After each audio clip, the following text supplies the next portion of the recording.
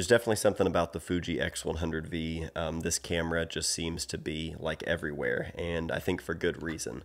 I bought this camera a few months ago and I wasn't expecting myself to buy this camera. Um, I didn't have any digital stills camera for a while. And then I borrowed Molly's X100V um, for a few days and then that turned into a couple of weeks. And eventually I bought one myself and I ordered this off of eBay paid more than retail for it because they're just hard to find right now. But after I'd been using Molly's for a while, I really felt like it was worth it because um, it's just kind of the perfect camera to always have with me right now. And after buying it three months ago, it's gone pretty much everywhere with me.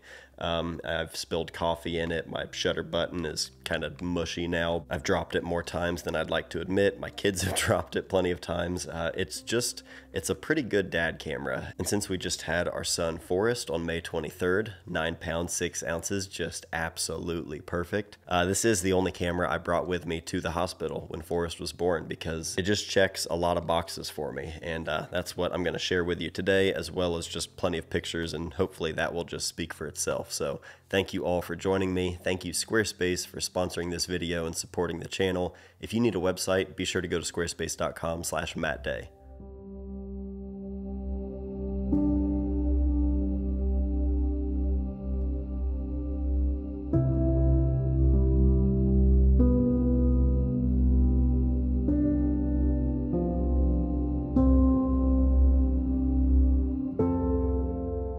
The size and the form factor. Um, once you really use this day in and day out, you really start to appreciate just how small and compact it is. I don't use a lens hood on this one specifically because I want it to be as low profile as possible so I can throw it in a hoodie pocket or a jacket pocket.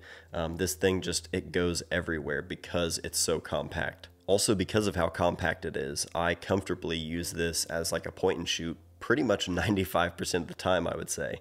Uh, very rarely do I actually pull this camera up to my eye, which is odd because I've had the other versions of the X100 before and I've always treated them uh, kind of the same way I would with my M6. You know, in a pinch, I liked that I could look at the back of the LCD screen and, you know, get different angles, but um, I just really just use this thing as like almost like an iPhone. Um, I turn the display as simple as possible and just leave it in monochrome for the film simulation. I just see and compose everything with this little monochrome window on the back of the camera and it's just a really fun and different way for me to shoot and I feel like it's made me shoot in different ways because I don't have to think and, and meter and load film and when all that matters is just getting the picture like as quick as possible right when it happens this is like the ultimate camera for that for me right now specifically because I can do it all one-handed um, I was already in the driveway making pictures of Elliot and Nora while holding Forrest in my left hand. And because this is all just point, shoot, autofocus, it's just been a lot of fun and really, really freeing to shoot with when I'm so used to working with like the Pentax 6.7. That's what I've been using just day in and day out for all of the projects I'm shooting. This has just been like total dad freedom mode. Uh, it's a lot of fun. The lens, the image quality, it's all great. You've got USB-C charging. I don't even have a battery charger for the battery that I do have, the one battery that I have for the camera. Um, I just charge it by plugging a USB-C cord into the camera itself like it's a phone. And that's the only time it gets charged, whether I'm in the truck or at home. Um, I just charge it that way and it's just always ready. Built-in ND, built-in flash, leaf shutter lens, uh, there's just a lot to like about the camera. It checks a lot of boxes. I can even hand it off to Elliot and he can shoot a photo with it no problem. He shot this photo of Forrest and I in the driveway the other night. Made dad proud with that composition. Well done, son. Just having a lot of fun with this camera. So if you'd like to see more videos featuring this camera or editing photos from this camera, anything at all, let me know in the comments down below. Uh, thank you all so much for watching this video with me.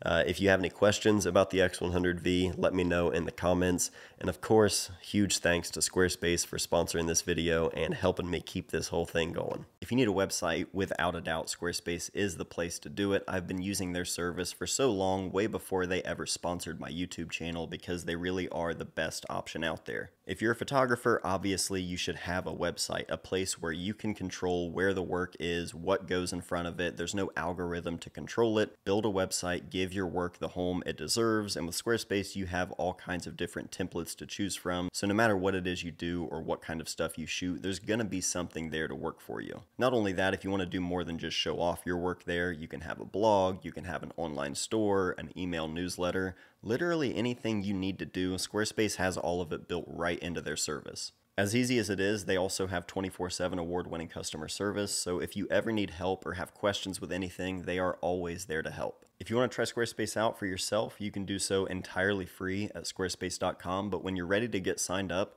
go to squarespace.com slash mattday. That'll get you 10% off your first purchase of a website or domain.